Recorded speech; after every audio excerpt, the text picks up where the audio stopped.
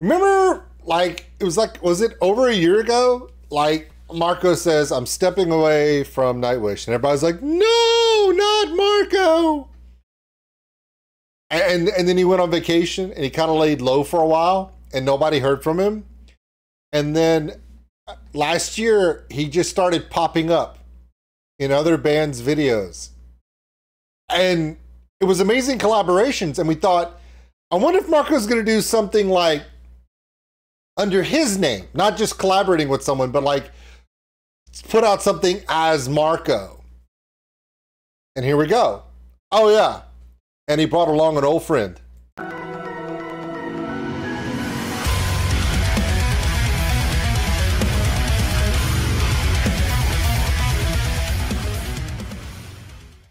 Yeah, you know, it's it's funny because when we talk about these everlasting symphonic metal bands, there are bands that you know you can look back and go, okay, they've been around a bit. But Nightwish are the they're they're one of the OG symphonic metal bands, and they've been through quite a few iterations, a couple lineup changes, but I mean, you kind of always expected Marko to be there, and Psalmist and things like that, but you know, we evolve, we change, we progress, we decide we want to go in a different direction, we want to find something new. And that, we understand all that. Here's the thing with Marko being completely free to do whatever he wants, he dabbled in a few projects. We all remember the Exit Eden collaboration he did. We felt so sorry for him running for his life away from those horrible three gorgeous women. Oh, Marko, your life is so horrible. But anyway, so Marko comes out with one on his own. It's under him. It's called Left on Mars. It's featuring, well, someone he's worked with before. I'll give you a hint. I'll give you a hint. Her name starts with a T, rhymes with Arya. yeah, all right, so here we go. Tarja, Marko, back together pretty excited. I'm pretty pumped. Um, I, I saw some some more uh how you say uh Nightwish of the past, where Tarja's clear tone, um, just angelic tone, just shines through in some classic Nightwish. And I was like, man, I would just love to see that. Well, here we go. Are you ready? I have all of Marko's information below in the description. Also, of course, Tarja's as we support both these artists. This is it. Left on Mars. It's five minutes long. Okay, so apparently some things never change. Come on. You ever know Marko to be not uh, be in a, a song that's less than four minutes? The Islander? No? Okay, moving on. Okay, let's go.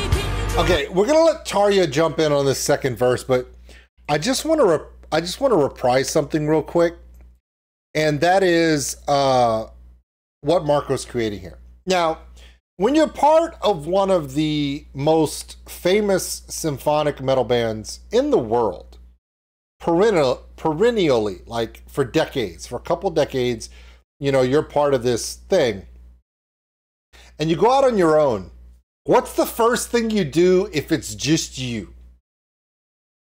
you play something that is not your previous iteration. When you think of Nightwish, do you think of chunky low end bass with funky pulls and walk ups and downs? No. You think of epic symphonic pads, string elements, almost to the level where you can almost hear that there's a, a symphony that you can't see. That's the level of Nightwish. This iteration of Marko, broken down guitar, straight up four on the floor drums, and a chunky, funky bass. Talk about flip a coin over and it come up heads. All right, let's finish this out because we got to let Tarja get in here.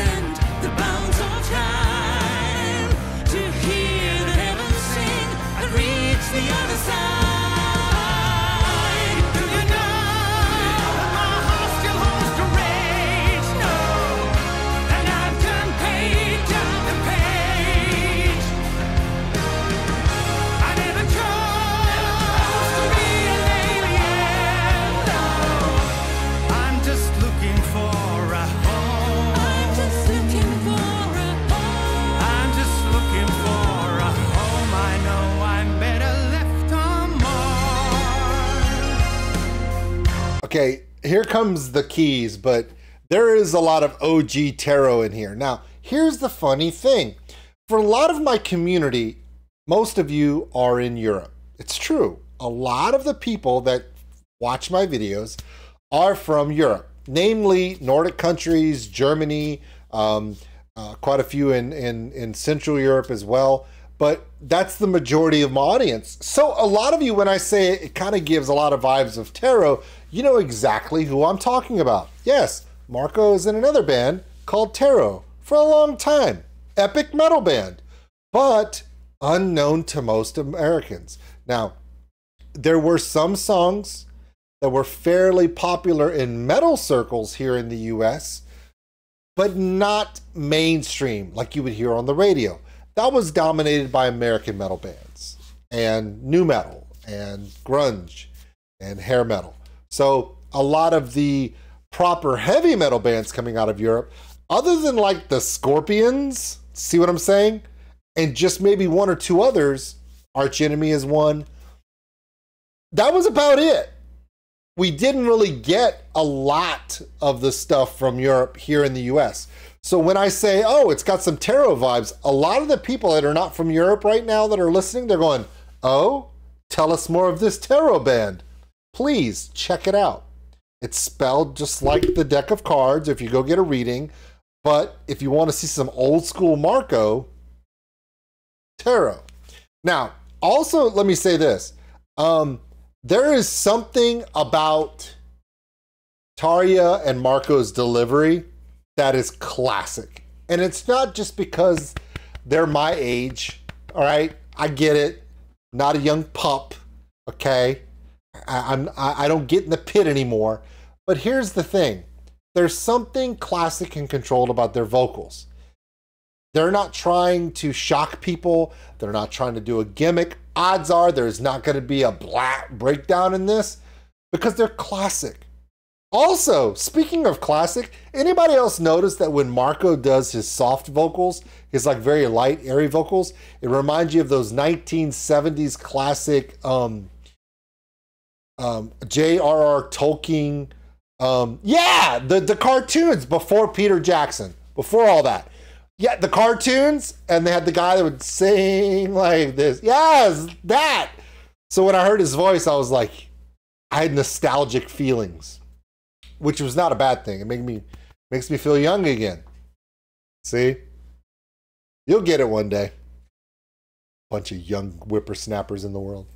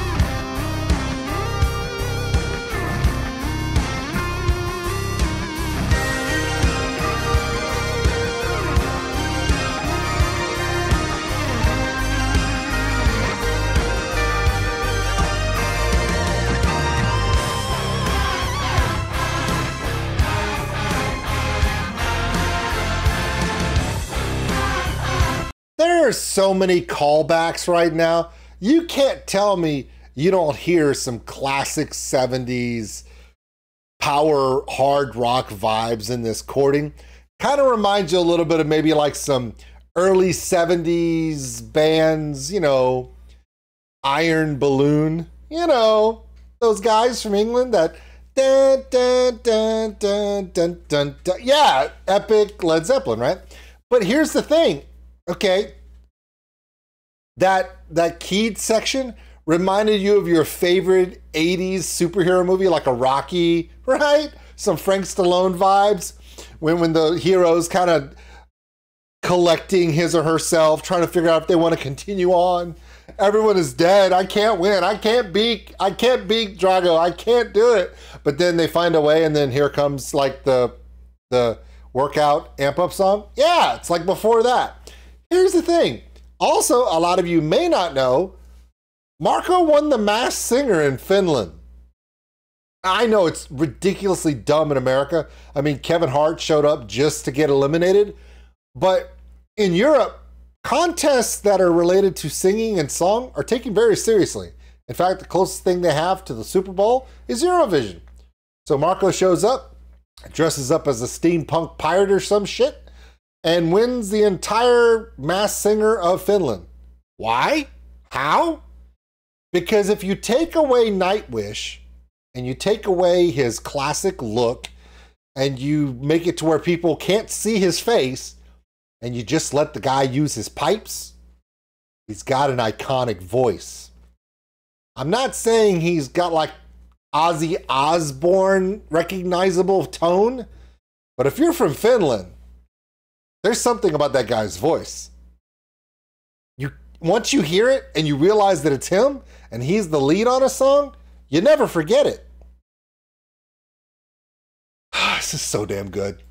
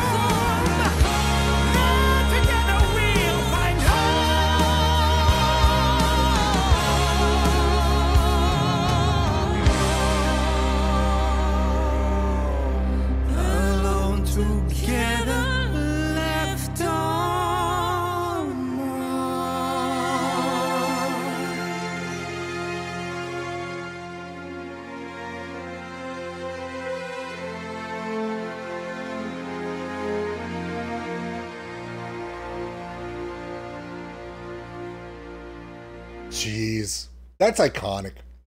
Now, if they do make a Lord of the Rings remake, I think they should cast him as Gandalf. Not because he's got a white beard, but because he's a storyteller. Marko has wisdom in music. He has wisdom in touring and being part of multiple bands and decades of experience telling stories to, let's be honest, at this point, millions of people. He's a, he's a treasure. He's a world treasure. Yeah, I think of Marko in the same way that I think of like a Bruce Dickinson, you know? You know, those guys that um are kind of eternal in and of themselves, but not like okay, so Ozzy Osbourne is uber famous not just because of his voice and his music career, but also the sideshow that is his life. But then there are people that are they are an enigma. They are a um, a foundation of the music that you love, but they don't lead outlandish lives. remember when Marko left Nightwish, he didn't just jump into this next project and go, "Hey everybody, I'm leaving Nightwish and this is my new thing now." No, he disappeared, collected himself. Literally, we played Where's Marko for what, a year and a half? Until it was time. That's class, man. My name is Old School Nerd. This is the new one from Marko, of course, featuring uh, uh, Left on Mars. Uh, it's funny because you could have taken this song and put it anywhere in Marko's career and it would fit. Because technically, he things do get better with age, but he's never really changed. And that's why we love him. All right, everybody. With that, we'll see you later. Thanks for watching, everybody. And if you enjoyed this video, give us a like. It really helps the channel grow. Also, if you want to subscribe, right over there. A big thank you to all my Patreons out there for everything you do. And if you want more content like this, check them out above. Remember, love one another, take care of each other. We're all stuck on this smoke ball together. We'll see you later.